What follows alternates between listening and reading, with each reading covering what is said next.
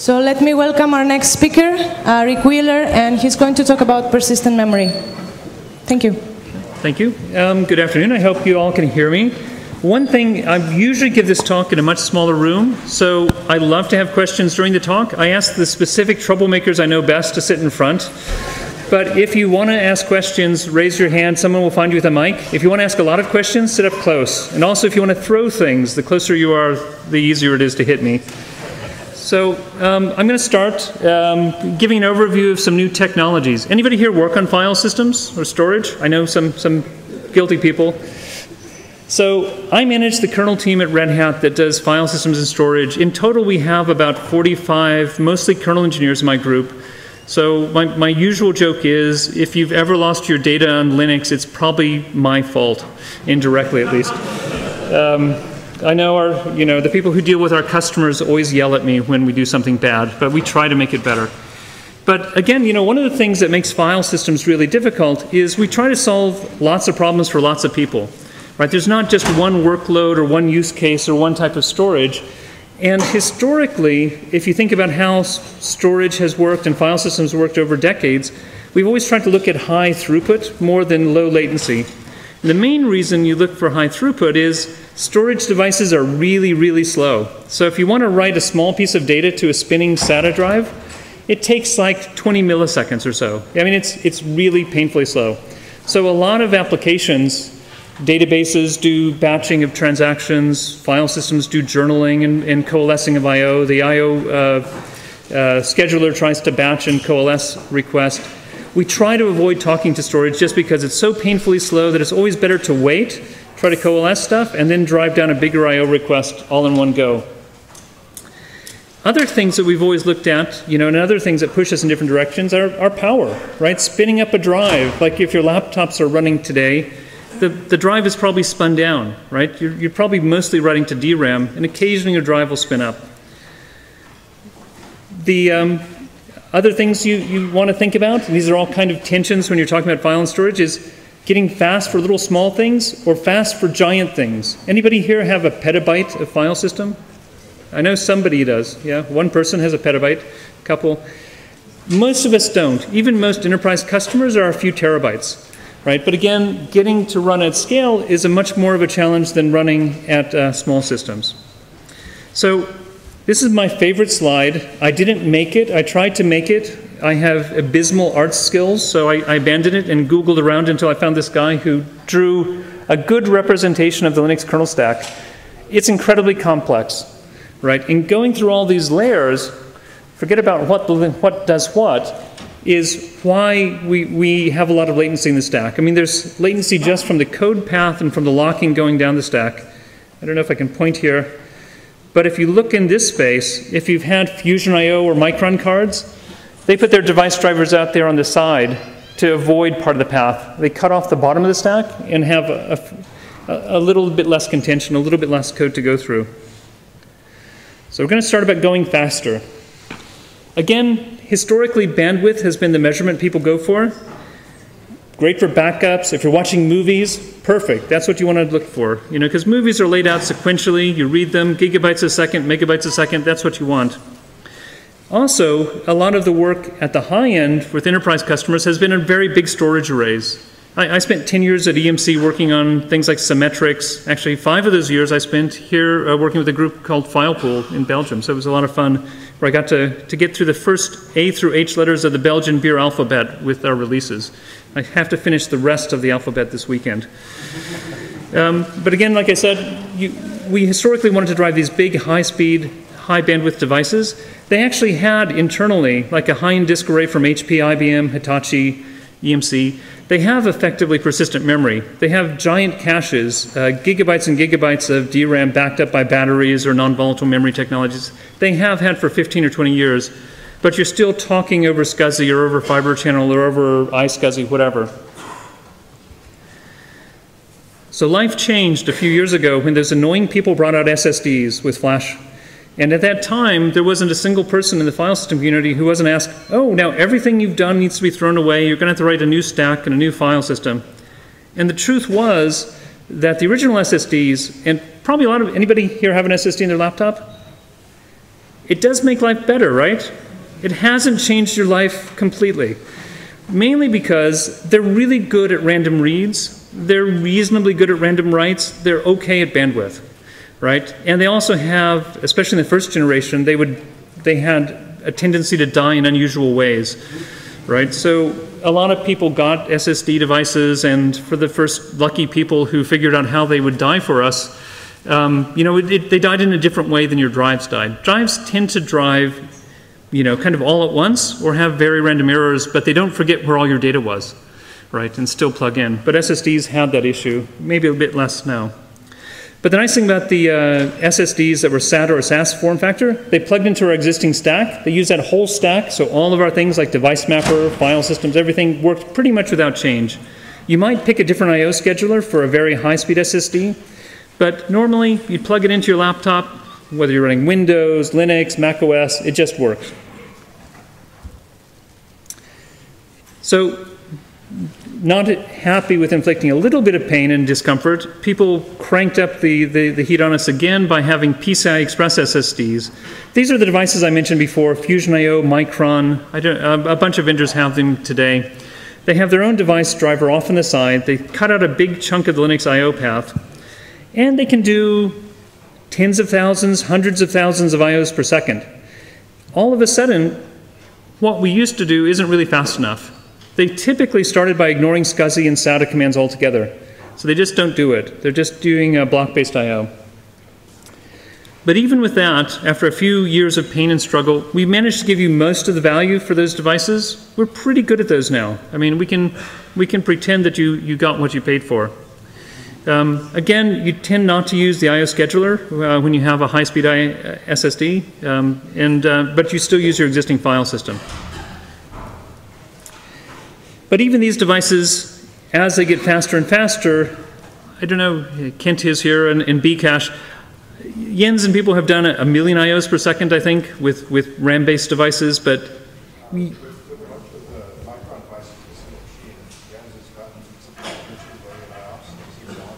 Yeah, so the comment is from Kent, who, who's Mr. Bcache in the front row that uh, Jens Axboe has gotten up to uh, about 2 million IOs per second with uh, Micron SSDs in a big no, machine. Uh, 13 million, in, 13 in, million. A, in, A, single box with a bunch right. of Micron P320Hs plugged in. Yeah. So we, we have the ability to do this, but he wasn't running the whole file system stack or SCSI or anything under it, right?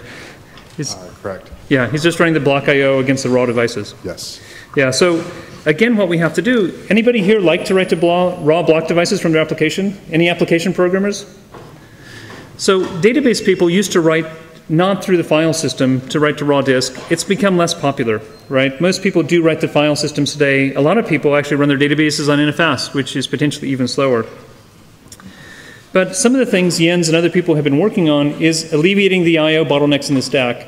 Um, what went into the kernels most recently was Jens's multi-queue I.O. Uh, work. It gives you, it takes a page out of the TCP and the networking communities uh, book, it allows us to have multiple queues for a single device, so you're not, you don't get blocked on, on the locks and acquiring locks and queuing and dequeuing. Um, I.O. scheduling, like I said, I mean, you really don't need to do I.O. scheduling. You don't have to think about, is it worth waiting to send down the I.O. because somebody else will come? Because it's faster to send the I.O. down than to wait and see if anything else is coming. Usually the completion time is faster. You, you still don't uh, want something like CFQ. We don't have, at this time, a high, high, high speed uh, C group based scheduling or anything for fairness. Yeah. So if you're doing the comment from Kent is if you you need CFQ and things if you want to do C groups or, or kind of containers or bandwidth shaping for between apps. Yeah.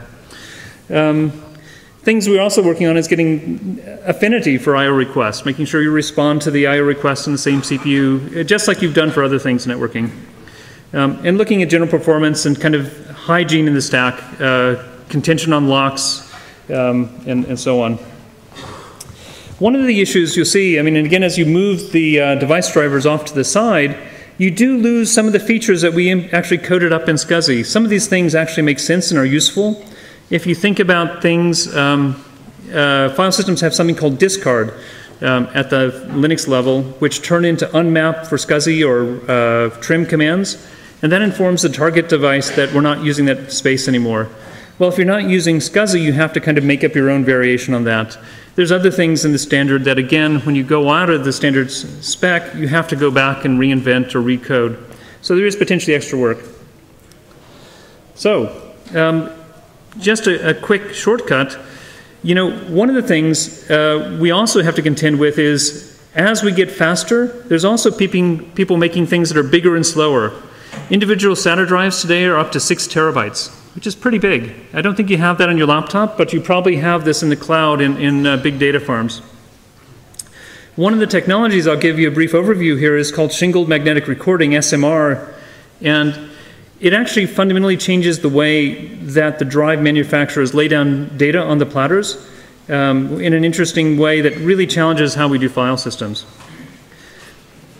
Um, with these capacities, even just a few drives, just 10 drives, you know, 10 plus 2 drives in a RAID 6 stripe, 60 terabytes of raw data, right, before we put a file system on it. That's a lot. It's bigger than ext3 or ext4 did until we got uh, through the 32 bit boundaries just a few years ago. Um, there is a lot of goodness in having a single file system. When we force users to break up a file, into lots of little file systems, we're forcing the application to effectively doing space allocation between different pools, which is really inconvenient, right? If you're doing backup and you're putting your movies here and your videos and your MP3s here and your, your user data here because you don't have enough space in one file system, you got to remember where you put it and keep track of it. Having a big file system is more convenient. So there is, in general, we want to try to make people be able to use a big file system if they want to, so they don't have to do all the, the uh, bookkeeping to figure out where things went. Um, Trade-offs people know about. Anybody ever wait for FSCK more than a week?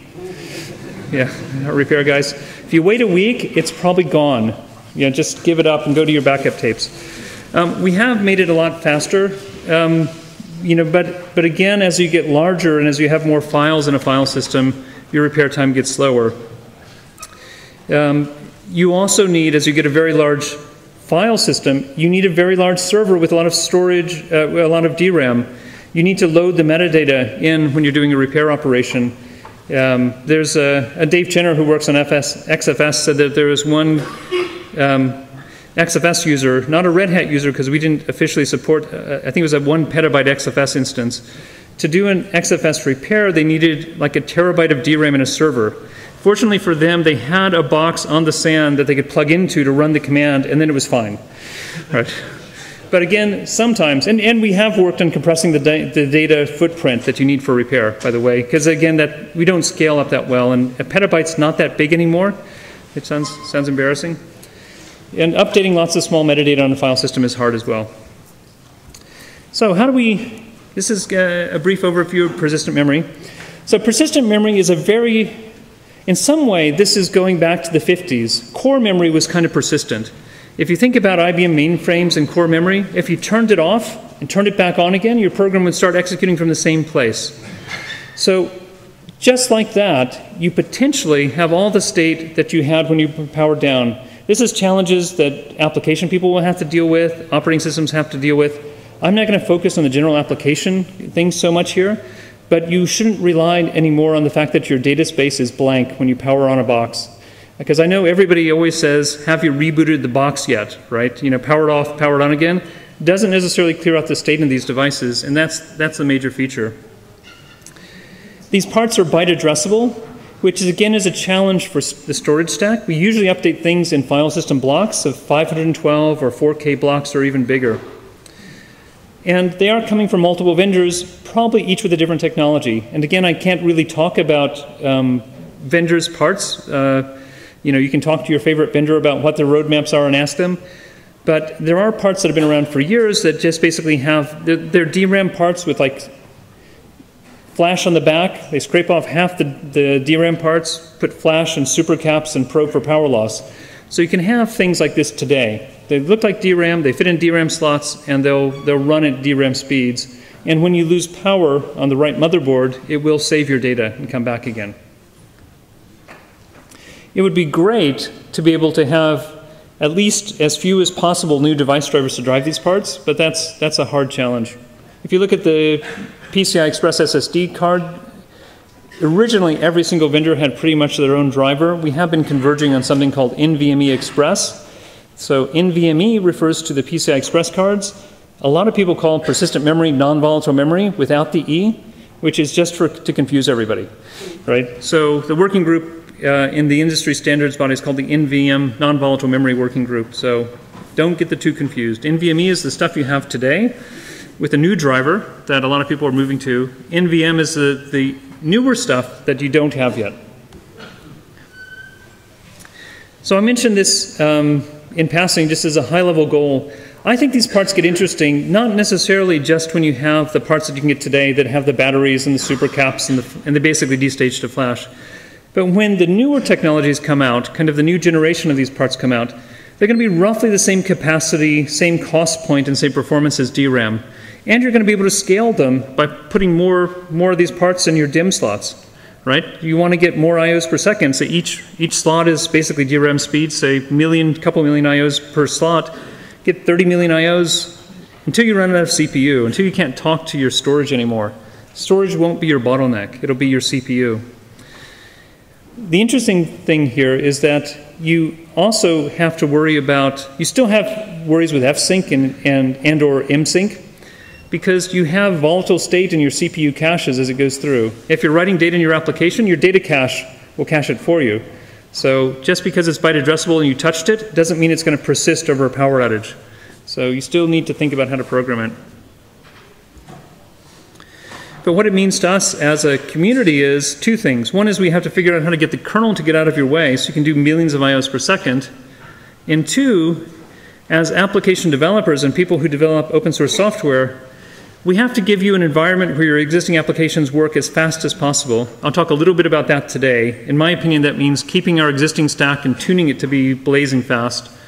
And for those of you who are really in for pain and love pain, um, there will be proposing new APIs kind of centered around mmap and other things like that that you, you can program to to get the, the stack out of your way entirely. I don't think most applications care that much that it's worth it. it. It's kind of like the people, anybody here write applications? Okay. How many of you use ODirect? One person. Yeah. You. You care. Yeah, you care about the new stuff we're going to inflict on you. Yeah, so the comment is you'd rather have a better mmap. mmap will probably be easier than ODirect, I think, but it's still going to be potentially a little tricky and confusing right? Because it's, it's very sp specific to the type of storage you have, uh, what it, what it means to, to use it for APIs. So again, I think that most times to get people to move to a new programming APIs, a new way of thinking, is kind of like moving from single-threaded applications to multi-threaded applications. Most of the applications, some 20 years after we had SMP, are still single-threaded, I think.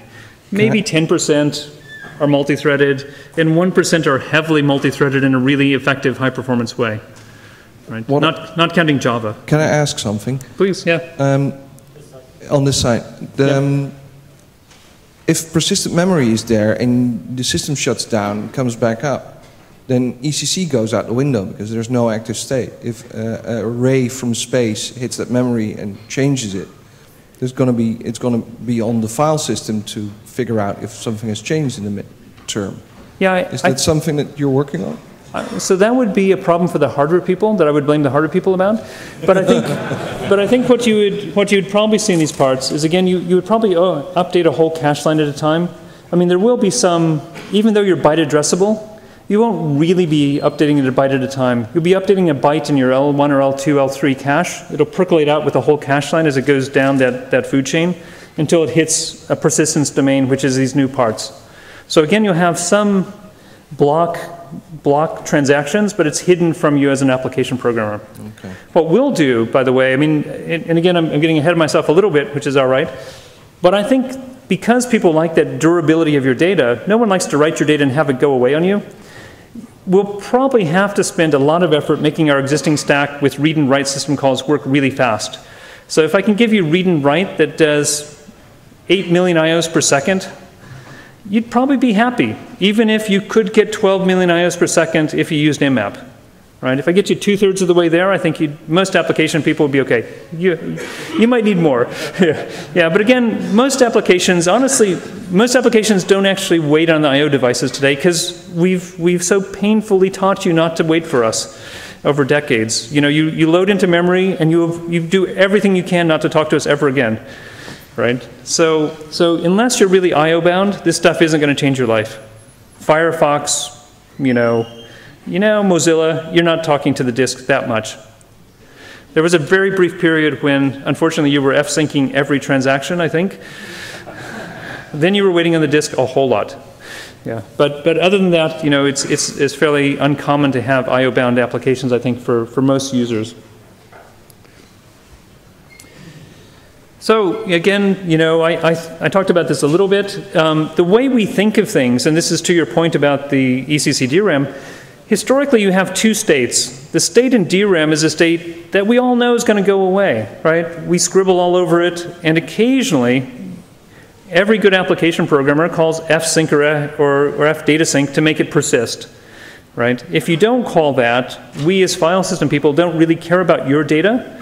We care about our metadata. So we do the same for our transactions. When we update inodes and block allocation maps and stuff, we make sure that we call the equivalent internally of syncs, you know, using transaction logic to flush it down to the disk. But your data could all go away and we're happy, as long as we know where it would be if you had done fsync right? And we do try to make fsync and fdatasync work properly. Um, but this is kind of intrinsic in the stack, right? You have this two-state thing, you know, this, the uh, temporary state in DRAM and the durable state down here in another storage domain, you know, usually over a block-oriented protocol. Um, and it's resilient over crashes and reboots. I'm sure nobody's ever lost data if they use fsync or fdatasync. Um, with these new parts, you still do need to use something like fsync or nymsync on the region that you persist, because again, it is there are volatile places in the code in the data path where you can lose data.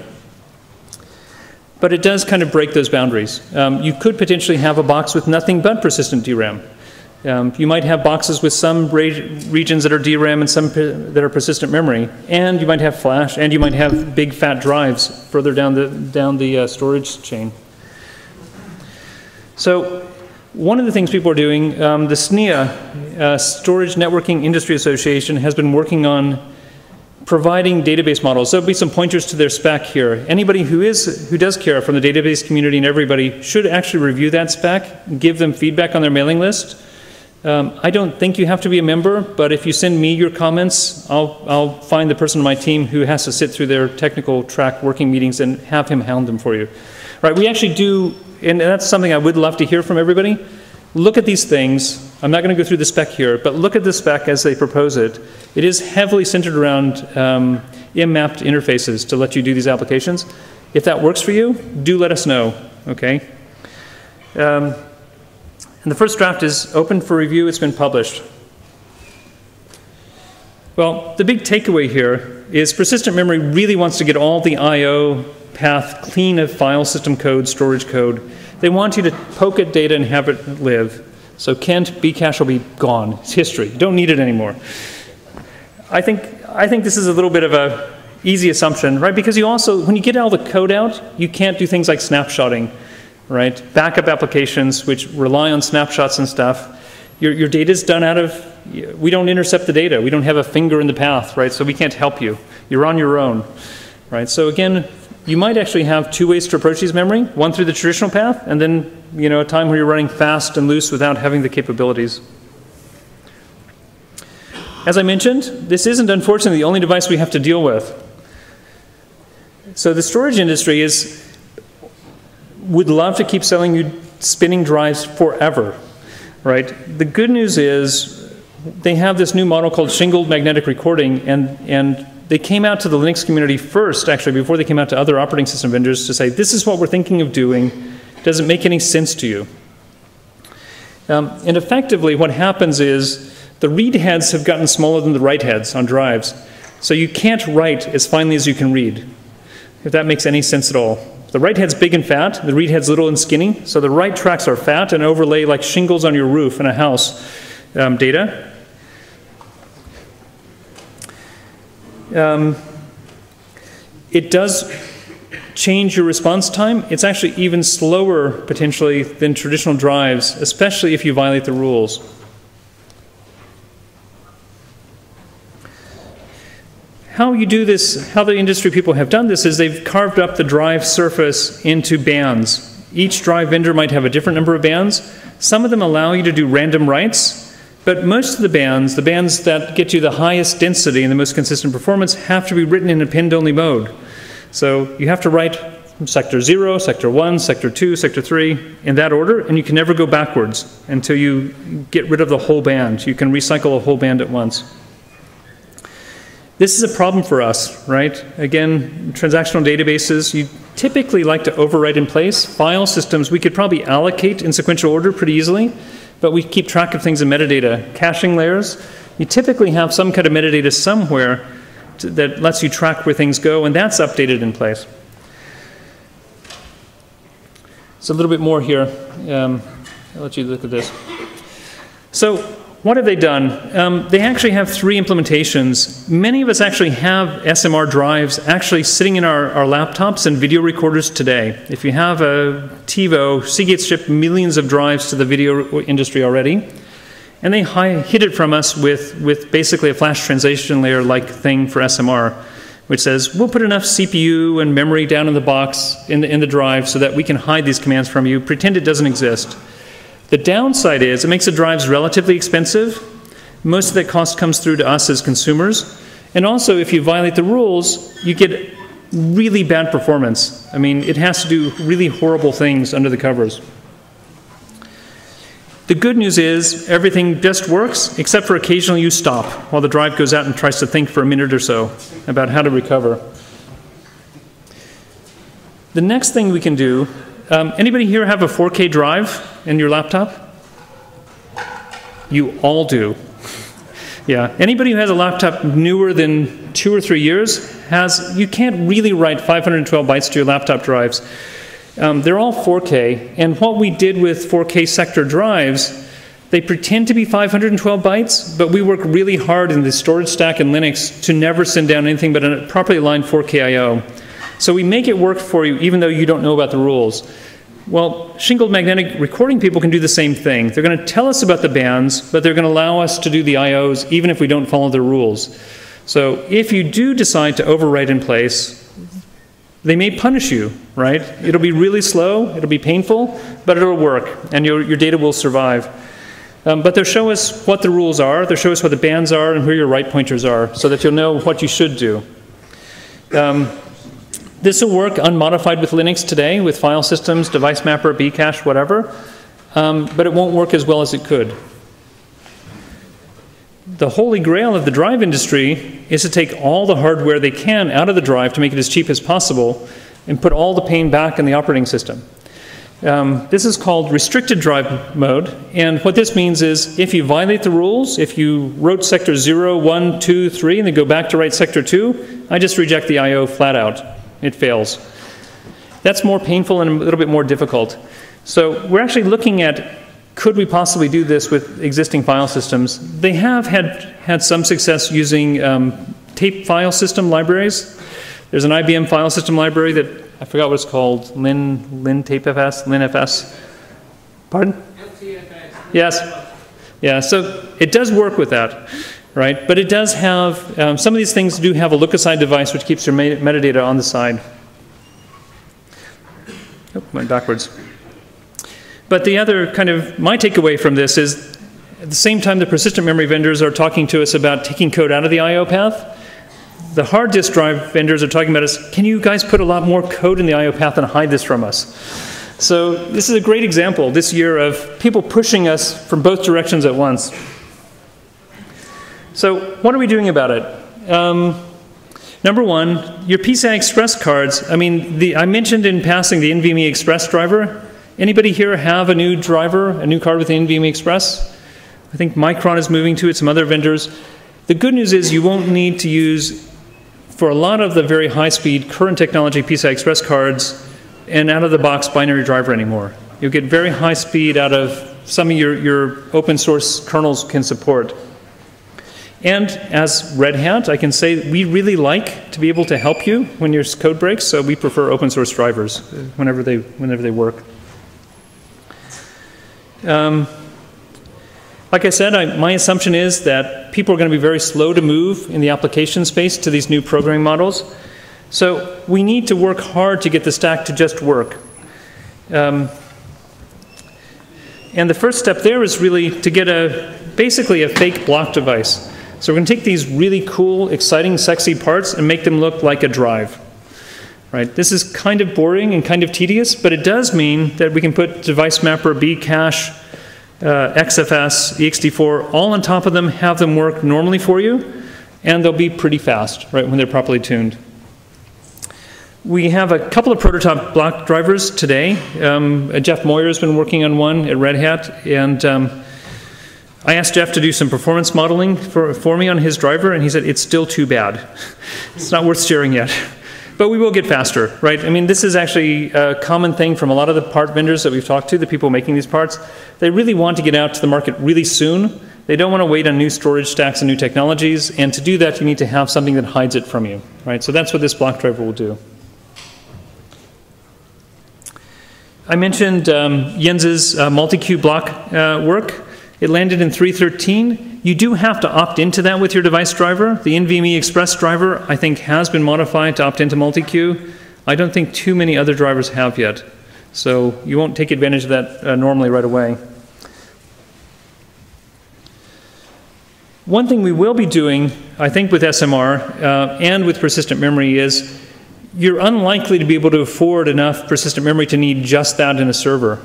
So you'll probably end up with tiers of storage. So I think you're going to see more tiering. The device mapper community has something called DM Cache. Kent has been working on Bcache for a few years now, a while. You could actually end up with DRAM. You know, you could have like, I don't know, eight deep caches, right? Your L1, L2, L3 cache. You could have persistent memory, uh, you know, DRAM, persistent memory, flash, and then big fat SATA drives, right? And we don't expect users to have to manage it, but we have to figure out if and how many of these combinations make sense.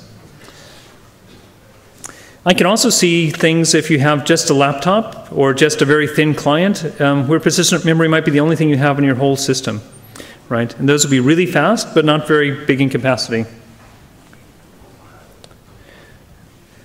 I promised Kent to uh, put his, his, is that still the right URL for you, Kent? Good. Yeah. So this is a project that um, is upstream along with DM Cache. Um, FS Cache is a caching layer that can take another partition and cache for NFS clients. I think the Ceph community has also ported in support for FS Cache. Um, and there's a lot of vendor-specific caches. If you talk to any high-end storage vendor, a lot of them have SSD cards in your servers these days that do caching at the block layer automatically for you.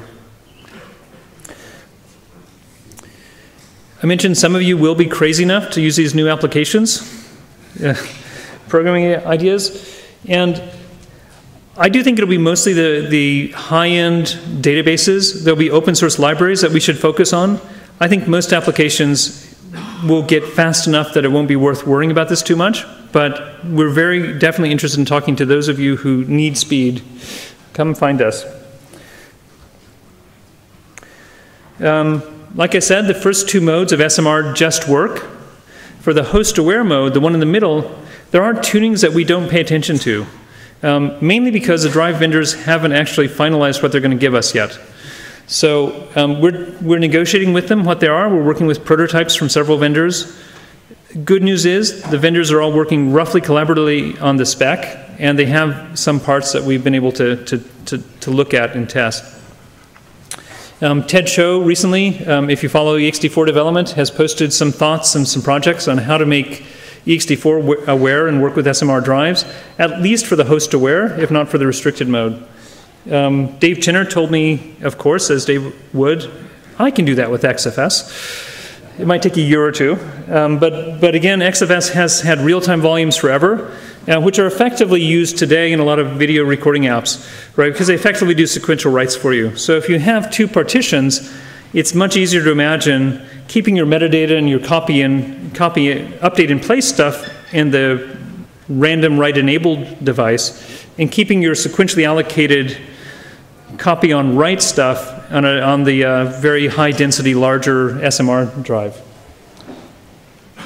I think it's easy, but I don't have to do it. I'm a manager, I just point. Yeah. Um, the other thing we've been talking about, and this is kind of a follow on to the SMR work, is today in Linux, and it's also a limitation in Windows, the size of a block device can't exceed the size of the virtual memory page size, which today is, is only 4K, um, which is pretty tiny. The drive vendors, when they did the 4K sectors, actually wanted to do 16K. They talked to us actually back it was been it's been almost 10 years ago. They talked to, to me and, and they talked to people from the windows development team. I said that'd be great except it just won't work. We won't we won't let you do any io at that scale. We're talking about it again. Hopefully we're going to talk about it at lsf at a, a linux foundation event in late march i think. It's on our agenda. Um, some people are fairly skeptical that it's possible with the memory management system. Other people were more optimistic um, I think it's time to, to try to, to poke at it and see if we can break that boundary. It would be nice, and some of these technologies will in fact have 32K, 64K sectors. In fact, a lot of storage devices have had these very large sector sizes of 64K or 128K for, for more than a decade, but they just hide it from you. So if we can figure out what those sizes are, we'll be more efficient and get better performance, maybe make storage a little bit less expensive to consume, which is a good thing. Um, LWN actually covered this uh, 4K limit debate today. I, I, always tell my wife when I make LWN and Jon Corbet writes anything that I, that I help poke, I'm, I'm proud. And she reassures me that no one cares. So, um, happy to take more questions. And I, I, will do my shout out to, to Jon and L, the folks at LWN.net. They cover a lot of this stuff in very good detail and go into a lot of technical depth. Uh, this is where the uh, SNIA working group is. That's the one that's looking at the application, kind of the programming model. Um, I hope you're rubbing your face, not, be, not because you're looking at this back and saying, oh my God, it'll never work. right? But it is, it is worth checking out and giving them feedback. Um, there are lots of places where we're hopefully going to be discussing this and debating it. I think LinuxCon and Plumbers will both be back in Europe this year. Um, Plumbers, for the first time ever, Linux Plumbers is not as big as FOSDEM by, by, I don't know, not an order of magnitude, but it's six or 700 people. It'll be next to LinuxCon in Dusseldorf uh, this, this autumn. So happy to take questions. Thank you.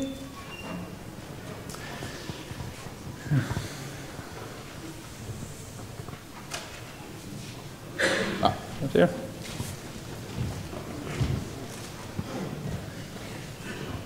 I'm going to ask you a question which is a bit, a bit unfair perhaps, but um, first comment was on terabyte RAM systems. I, I manage uh, one of them, the more on the terabyte RAM, and you'll know this. The first thing, if you ever get one, is to tune the VM dirty uh, ratio down really low, because if you don't do that, what happens? Yeah, so, so, so the question's around when you have a terabyte of RAM today, it doesn't always work magically smoothly as you'd hope, because the dirty page ratio keeps things in and then it does these really bursty things. Yeah. You know, so, so it is actually there are things you have to do in the memory management system to scale up to multiple terabytes of, of storage of, of DRAM. Um, if you had only persistent memory, there would be no write back. No, no, the problem is that you, you write a 50 gigabyte file and it'll sit in RAM forever. It'll be cached forever. And if you lose your power, you've lost your data. and yeah. you won't know power. But uh, yeah. my question really is to turn this on its head. We, we've, got, we've got requirements these days for big data, graph analysis, Hadoop, all these things. Can we see using these solid state things as an extension to RAM rather than storage? Yeah, so Comet is using these solid state things instead of RAM. So a lot of vendors have talked in public, and, and so again, there's some things I can talk about. I, I know the Fusion IO people have talked in public about making their current generation PCI Express cards look like RAM, right? They'll put enough DRAM buffering and whatever magic pixie dust in the middle in firmware to let you see virtually a very large DRAM space and page in and out right? So you wouldn't have to do I/O to storage, but it looks like virtually big RAM, and that's a very reasonable application, right, for for in-memory databases in huge sizes. Because again, talking to storage again is painfully slow, right? You know, if you have to talk to SATA drives or or flash. So what you just said actually sounds kind of like an old-fashioned mainframe model where you have single-level memory addressing your entire database, but you need an API where you can control like all the APIs we have now are about the file system, not about controlling memory. Um, the other thing is, I worry if you're controlling it through memory and you're depending on the persistent memory, that means if this hardware, if your if your um, CPU or memory or motherboard or whatever breaks, you can't just fail over to another machine attached to the same storage because now you're depending on. Uh, so you're, touching on two, two really good points, right? So, so again, um, one of the disadvantages of getting the file system and I/O stack out of the code path is if you're using something like DRDB, DRBD to replicate your block state or or in Gluster or Ceph where you can replicate storage by, by grabbing file operations and splitting them between two nodes, we don't have that footprint. You can't, you can't necessarily you can't necessarily plug the, the DRAM parts into another server and see what's on your storage. You might be able to move them though. They are durable, right? So you would have to take them out. I don't know if you can plug in PCI Express parts to your, I don't know. It's be interesting. I mean, the state is durable, so you would be able to take them out physically and put them into another machine, I think. But that's speculation on my part. Any more questions? No one threw anything. I'm, I'm quite happy. Yeah.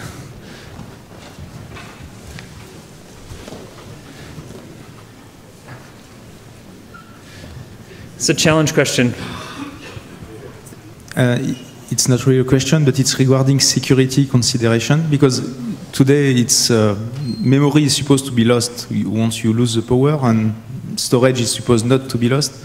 But once you have something hybrid like this, it means uh, uh, developers don't have to consider only new API, but uh, uh, also security issue because passphrase or anything that is related to encryption, for example, yeah. Uh, it's not only you, you have to take care that it is really lost uh, once you shut down the box. Yeah, that's an excellent comment. So again, the security community, if you think that just keeping things in DRAM uh, allows you to, to not have to clean up after you shut down and reboot, that, that assumption's not a good assumption anymore. I mean, those things will still be potentially out there waiting for someone to hack at and discover. But uh, scrubbing is your friend, right? And we'll, have to figure out what regions of these things need to be zeroed, right? Though you have to zero out a lot of stuff. Um, on the positive side, do you uh, can you expand on what this might mean for applications? So, what benefits applications might have if they can assume persistent memory that is as fast as main memory? So, for example, regarding the kind of failure handling they do, restarts, and so on. Yeah. So, um, question about it, what application benefits? Number one benefit is you will never ever wait on storage again, right? I think you'll be waiting on CPU. If you have a fully provisioned box with these parts, we won't be your bottleneck. You always get to pick your bottleneck when you design a system, and it won't be storage at the highest end systems. So that's the highest thing. Um, you would be able to also potentially do suspend and resume in a more reliable way, I assume.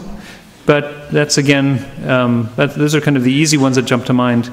But this is mainly about speed, I think, speed and performance. There's other models that'll be interesting.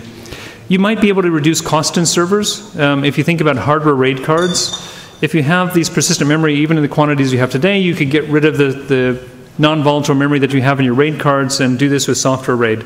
So there's some cost of ownership issues, some performance issues, probably faster starting and shutting down. It's a, a good question.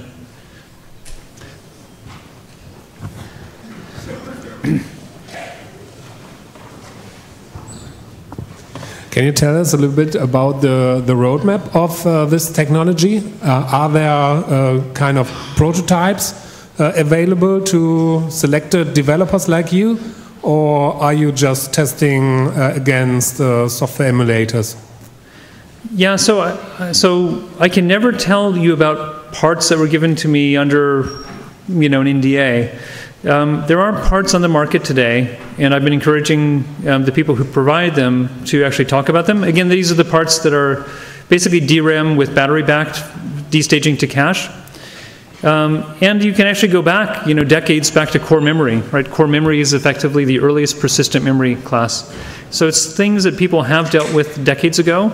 Um, there are parts there today. People are looking at this, um, but I can't talk about stuff. You can Google around and see what people who aren't under NDA talk about in the press. Fortunately, sorry. Okay, let's thank our speaker again. Yeah.